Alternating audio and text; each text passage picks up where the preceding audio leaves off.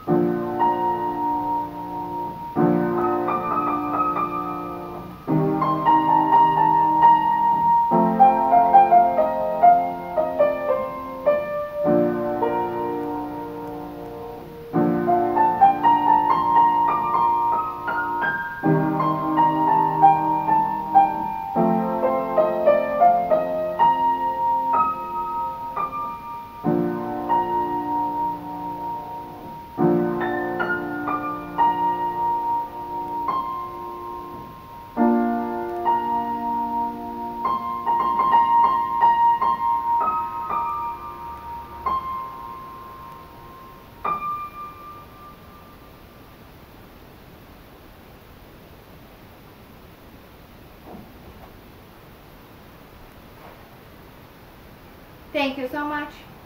Dziękuję bardzo.